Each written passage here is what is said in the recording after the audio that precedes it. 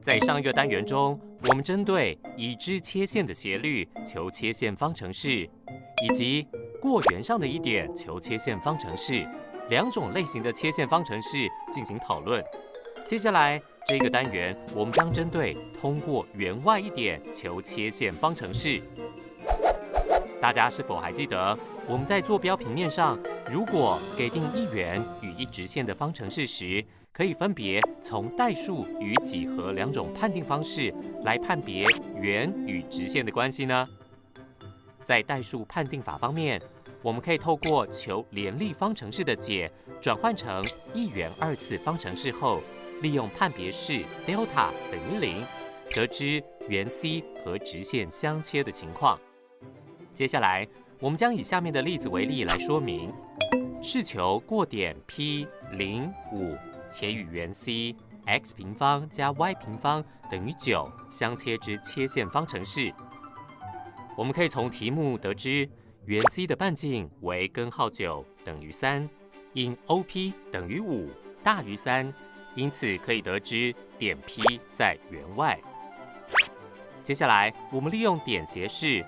Y 减 y 零等于 m 乘以括号 x 减 x 零。假设过点 P 与圆相切的切线方程式为 y 减五等于 m 乘以括号 x 减零。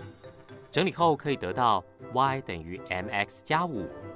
将这个方程式代入圆方程式，x 平方加 y 平方等于九，可以得到 x 平方加括号 mx 加五的平方等于九。将它乘开之后，整理得到。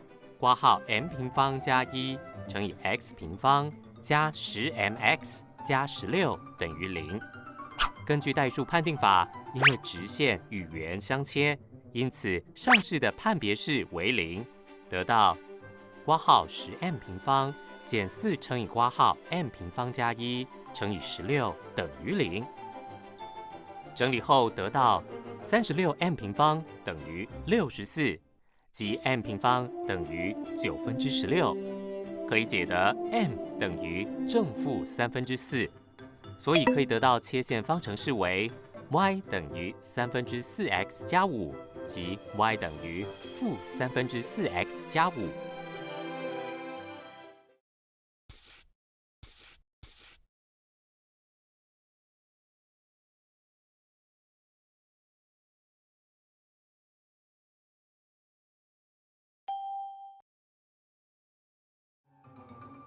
在几何判定法方面，我们则可以透过当圆心到直线的距离等于圆的半径时，得知圆与直线的关系为相切。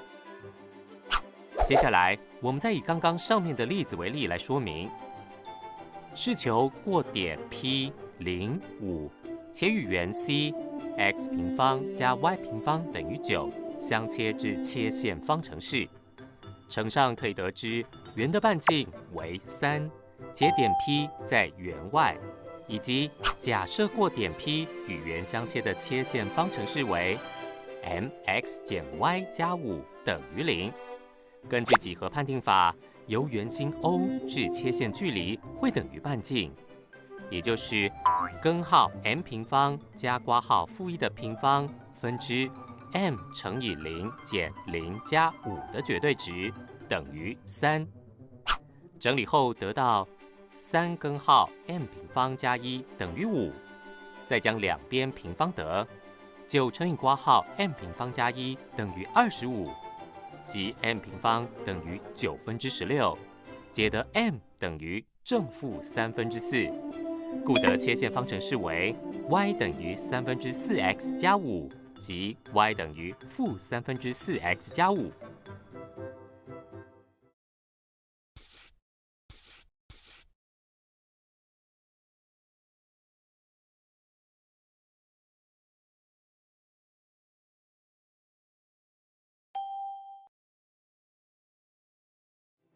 接下来，再让我们看一个例子：已知圆 C x 平方加 y 平方等于四，求通过圆外一点 P 二六的切线方程式。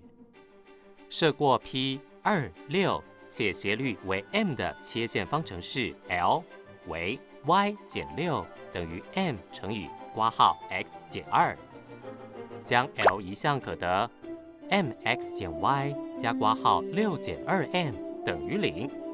根据几何判定法，因为 L 是切线，所以圆心零零到直线 L 的距离，代入距离公式，算出半径为二。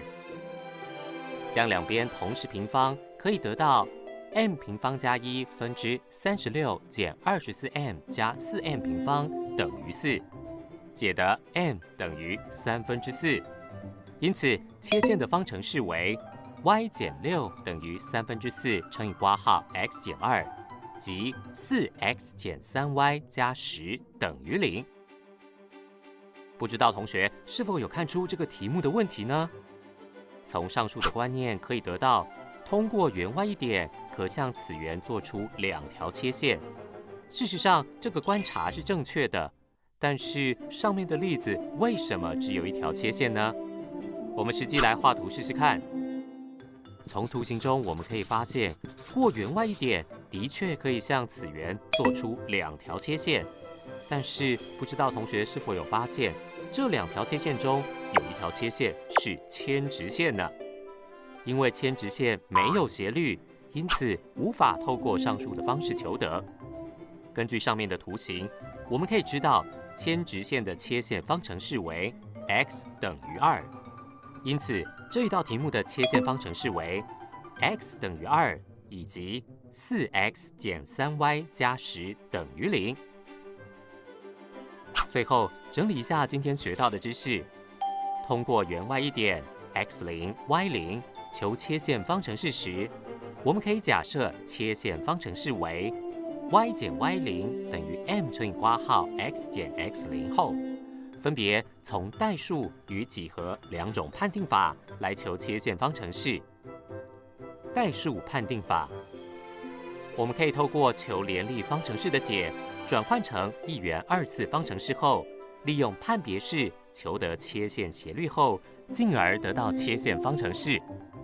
几何判定法，我们可以透过当圆心到直线的距离等于圆的半径，来求得切线的斜率后，进而得到切线方程式。有一半径为一百公尺的圆形堡垒，阿勇从正北方出城门之后。再往正北方走一百公尺，到达 A 处。试问阿朱，如果由城堡中心往正东方走多少公尺后会看到阿勇呢？答案为三分之两百根号三公尺。这个单元我们讨论过圆外一点 P x 零 y 零时，必有两条切线。但是，当有切线为铅垂线，没有斜率时，这条铅垂线是无法透过上述的方法求得。因此，要另外再写出这条切线为 x 等于 x 零，请同学要特别注意哦。